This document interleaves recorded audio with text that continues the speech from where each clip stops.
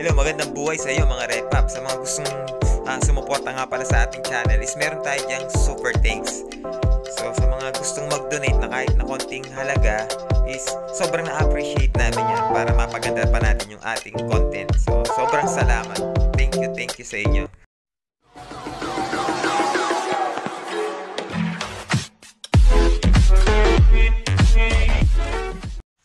So ayun, magandang buhay sa inyo mga paps. So sa mga nagtatanong diyan kung anong uh, primer ang gagamitin natin, spray peeler yung ating gagamitin kung magka magwa-wash over lang tayo ng sasakyan natin. Kung magpipintura tayo ng sasakyan, yung tinatawag na surfacer o yung spray peeler ang kailangan natin na primer na gamitin. So nandito sa likod yung kanyang direction for use. Bali ang kanyang ratio dito is 311. So 3 parts ng kanyang uh, base primer, 1 parts ng kanyang catalyst, pagkatapos is 1 part ng kanyang thinner. So, bali ganito yan. Bali, ang pag-apply nito is 2 to 3 coats, full coats. Pagkatapos to is, ang kanyang drying time is uh, 1 to 2 hours. Ayan, nakalagay. 1 to 2 hours. Start na natin kung paano ito i-mix. Bali, i-demo natin kung paano ito i-mix. Bali, ganito yung itsura ng kanyang uh, surfacer na primer. Medyo light gray siya, mga paps. So, ganito yung itsura ng ating Hansel urethane na spray peeler. Bali, wag na kayo magtaka kung di siya puno. So, talagang ganyan ang kanyang laman. So, bali, ipupuhos natin to sa isang malinis na lalagyan. Bali, kalahati lang muna yung dinagay ko kasi hindi kasya doon sa ating lalagyan. So, nasa 1 liter lang yung ating lalagyan dito. So, minake sure ko na kalahati muna yung ilagay natin. Ayan. Pagka kasi binuhos natin to lahat, tapos hindi natin to uh, nai-apply is maninigas lang. Sayang naman kung maninigas lang siya. So, after nating mapatuyo yung uh, unang timpla natin ng dalawang oras is pwede na nating timplahin ulit yung natitira pang kalahati. Huwag sobra-sobra yung pagtitimpla para siguradong hindi masayang.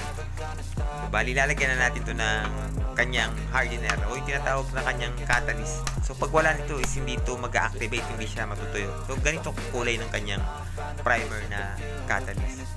So, pang spray peeler to mga paps, hindi to pwedeng ilagay sa base coat o sa top coat ha.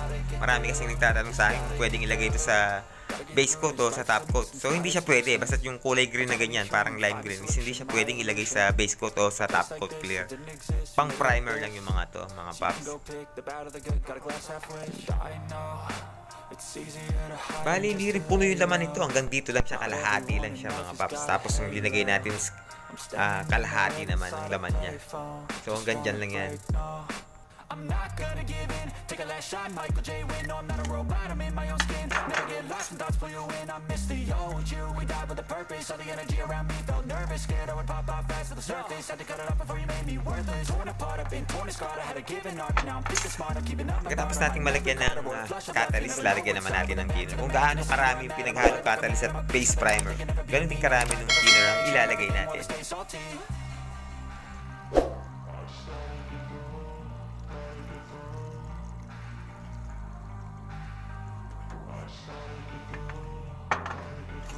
Pagkatapos isahaluin natin ito ng mabuti.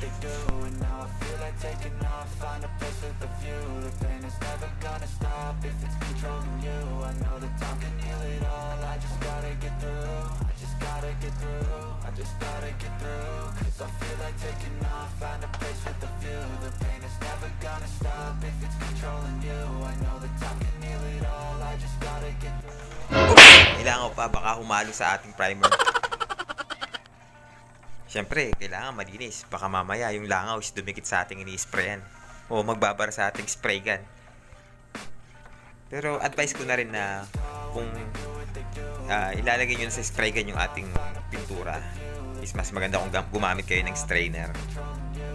Bali sa nakikita nyo dito mga paps is na-prepare ko na itong sasakyan. Nalinis na natin, nalihan na natin at tinakpan na natin yung mga dapat takpan para hindi siya mapinturahan. At tinanggal ko na rin yung mga dapat tanggalin.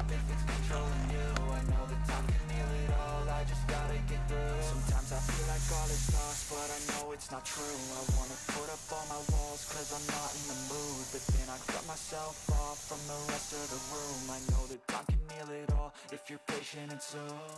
It can all be worth it, all the searching. Pain is never really permanent, but damn it hurts man. I could feel all of the turbulence and it's concerning. I've been searching for a purpose, I hope it's worth it this society is really trying me. Ain't no right to see behind me Far from anxiety. I need my space, I need my privacy. I need some silence, please your ocean life Don't speak quietly, opinions violently Thrown across every surface. It makes me nervous. If the world honestly burning That's all I'm learning. Hope that we can make a turn And start reversing. All our minds and put the work in We got some work, man.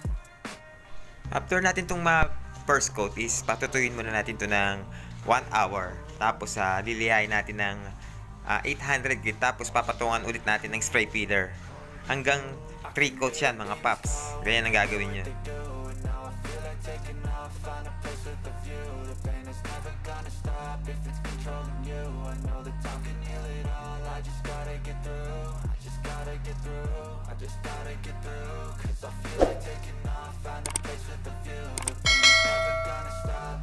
Controlling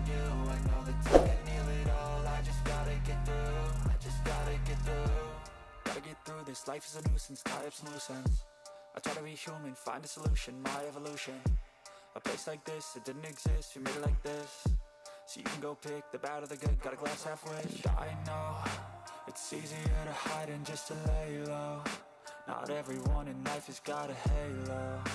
I'm standing in the red inside a payphone. Just wanna break, no I'm not gonna give in. Take a last shot, Michael J. Win No, I'm not a robot, I'm in my own skin. Never get lost when thoughts pull you in. I miss the old you, we died with a purpose. All the energy around me felt nervous. Scared I would pop off fast to the surface. Had to cut it off before you made me worthless. Torn apart, I've been torn and scarred. I had a given art, but now I'm thinking smart. I'm keeping up my guard, I'm hiding every card. A royal flush of bluff, you never know what's hard. With a back to the Mac and a Bali, pagdating naman sa kanyang base color is ganun din yung kanyang ratio. 311 din. Kung paano natin ginawa yung primer kanina is ganun na ganun yung kanyang ratio na gagawin natin.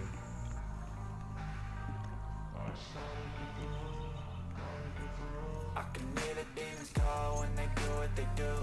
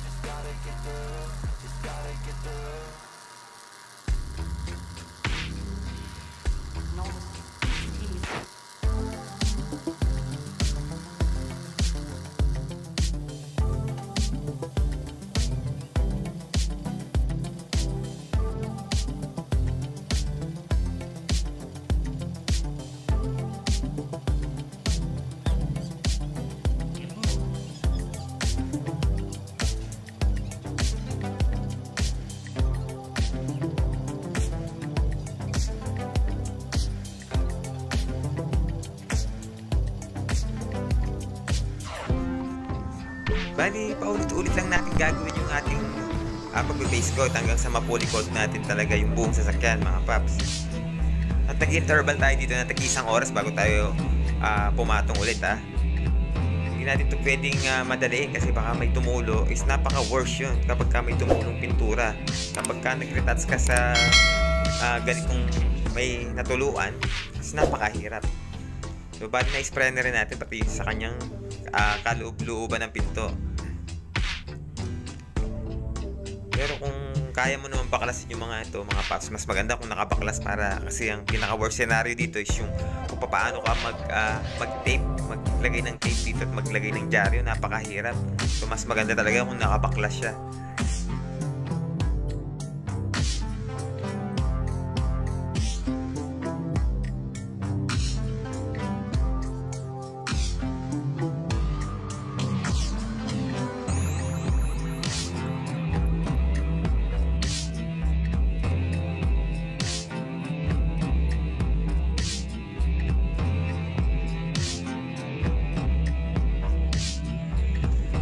Bali dito is na na-full coat na natin to mga paps at ah, ready ready na to para iba-block naman yun dun sa taas. So, bali, tatakpan muna natin ng jari yung kanyang ah, hindi pwedeng tamaan ng kulay black para sabay-sabay ng sa pagtatap coat.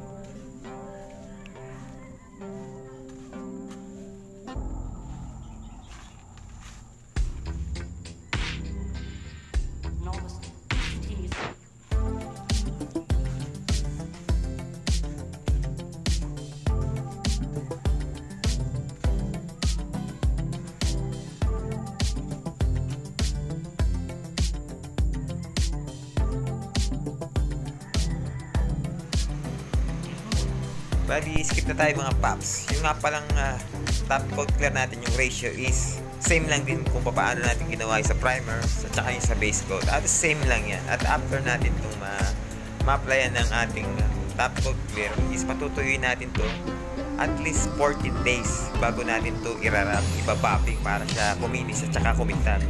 So, bali, hanggang dyan na lang muna yung video natin mga paps. At sana is nakakuha kayo ng kahit na konting idea sa pagpipintura ng ating sasakyan.